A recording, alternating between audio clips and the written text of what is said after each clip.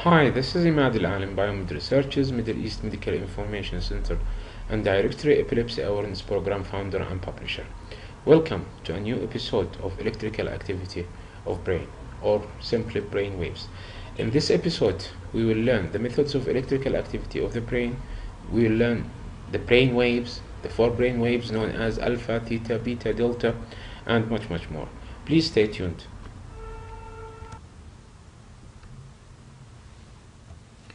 Brain waves are generated by the building blocks of your brain. The individual cells called neurons communicate with each other by electrical changes. We can actually see these electrical changes in the form of brain waves as shown on the electroencephalogram or EEG test. Brain waves are measured in cycles per second or hertz is the short form for that. We also talk about the frequency of the brain wave activity. The lower the number of frequency or the hertz, the slower the brain activity or the slower the frequency of the activity. Researchers in 1930s and 40s Researchers in 1930s and 40s identified several different types of brain waves. Traditionally, these fall into four types, which we will talk about it later on. Our human brain is an electrochemical organ which with generated waves which proves that human beings never switch off their minds. And this is a figure of the human brain which we have uh, explained in detail in our last episode. And these are the lobes of the brain. This is the frontal. This is first of all the front. This is the back. This is the frontal lobe. This is the parietal lobe. This is the occipital lobe. This is the temporal lobe. This is our cerebellum. This is our brainstem, and this is the spinal cord. Researchers have speculated that a fully functioning brain can generate as much as 10 watts of electrical power. And as I said, this is uh, only a speculation. There are three levels of arousals. The first level is called sleeping, the second one is relaxing, the third one is action. In sleeping arousal, large slow waves are seen. In relaxing, the waves becomes faster. But in action, dense EEG pattern is seen and is characterized by low voltage and high frequency producing fast waves. So these are example of the three arousals. This is the sleeping and you can see here during the sleeping slow waves are large and it easily can be recognized.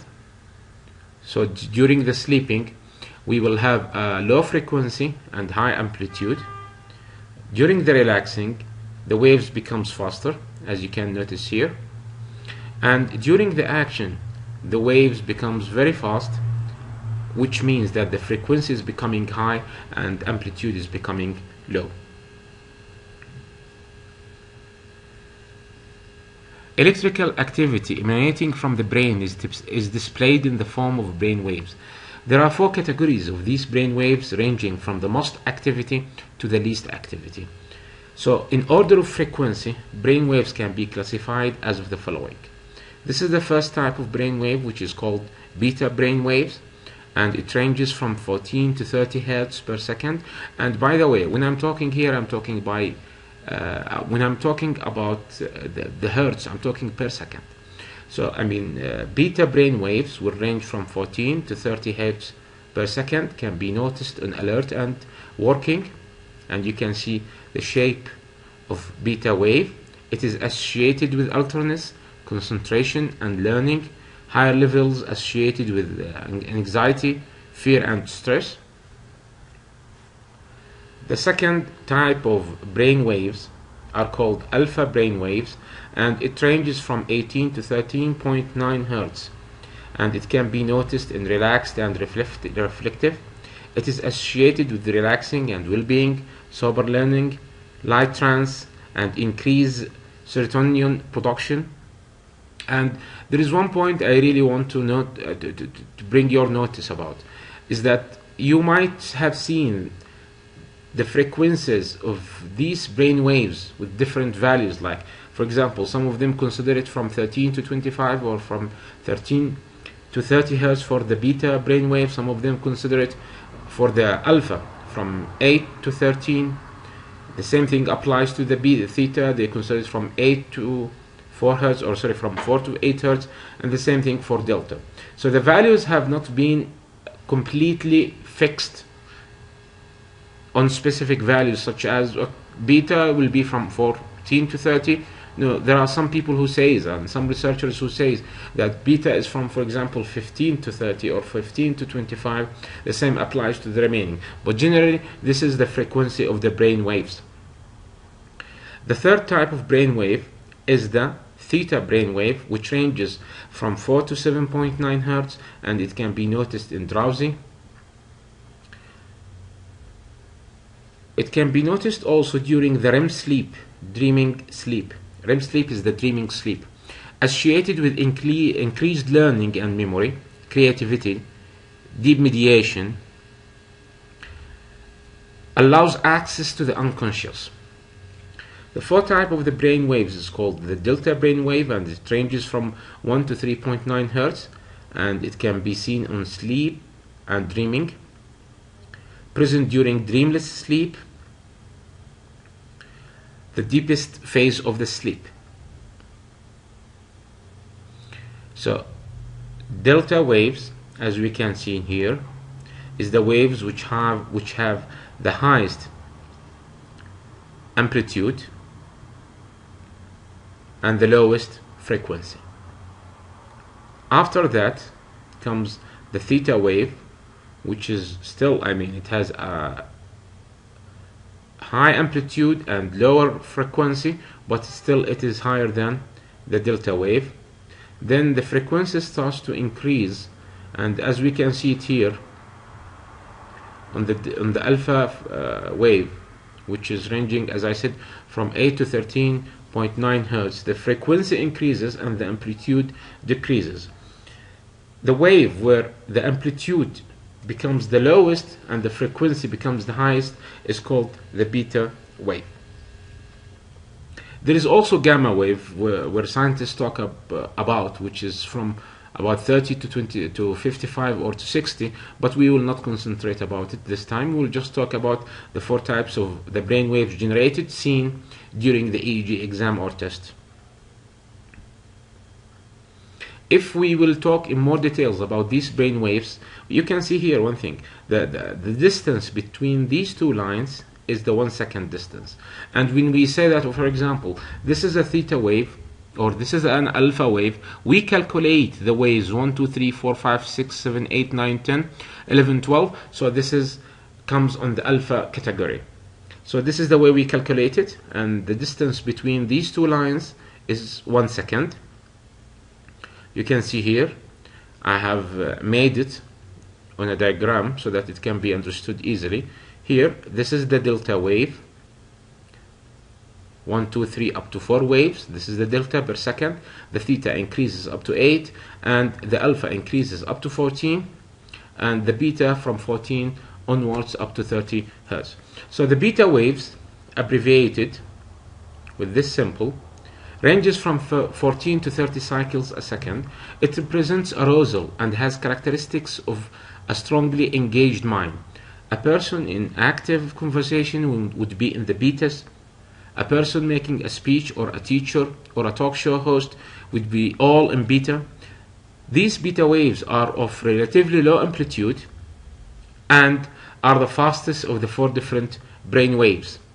So as you can see here, the amplitude of the wave is low, but the frequency is high. So it's the fastest among all these brain waves. In other words, we can say beta waves are having low voltage and high frequency. Alpha waves, abbreviated with this symbol, ranges from frequency of 88 to 13 Hz. It represents non-arousal. Meanwhile, we can see the arousal in the beta wave. But for the alpha wave, it represents the non-arousal. It is slower than the beta waves and higher in amplitude. It occurs when a person is relaxed but alert. During this state, a person is awake but resting. A person who has completed a task and sit down to rest is often in an alpha state. A person who takes a break from a conference and wherever walks in the garden is also in the alpha state. So you can see this is the alpha state. It is from uh, 8 to 13 hertz. And if we count this, between these two lines, which means one second, we will know that this is an alpha wave. The third type of waves is called the theta wave, and it's abbreviated with this symbol. It ranges from 47 hertz. it is typically having a greater amplitude and slower frequency. So it's the opposite. If you look at the theta wave, you can see the amplitude is increasing here, but the frequency is decreasing here. And it ranges from 4 to 7 hertz. It is associated with sleep, deep relaxation, and visualization. A person on a daydream is often on a theta brainwave state. So the last one of brainwaves is called the delta brainwave, and this is the symbol of the delta brainwave, and it ranges from below 4 Hz, and it is considered with the greatest amplitude and slowest frequency. So uh, this is our delta brainwave. You can see the amplitude have increased from theta to delta.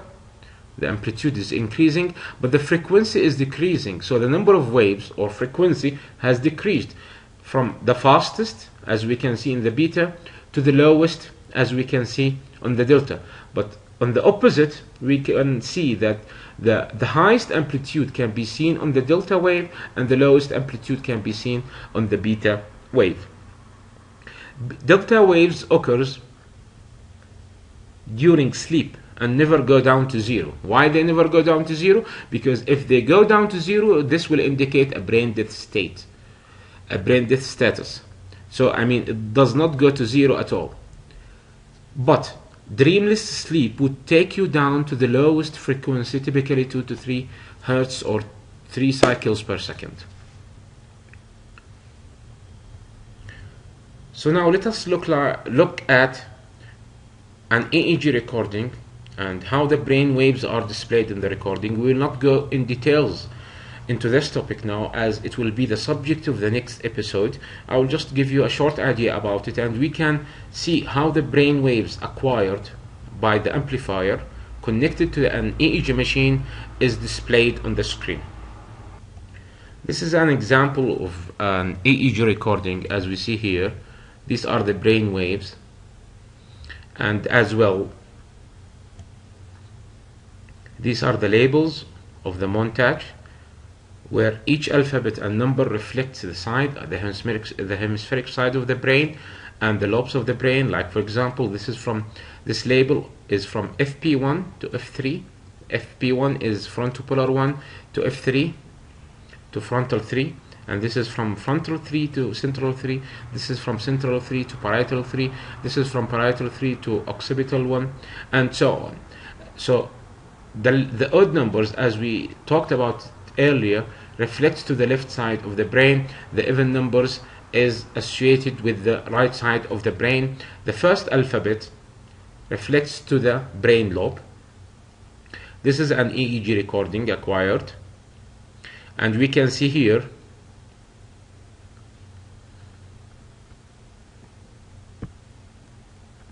I'm, I'm just moving it. This is the annotations.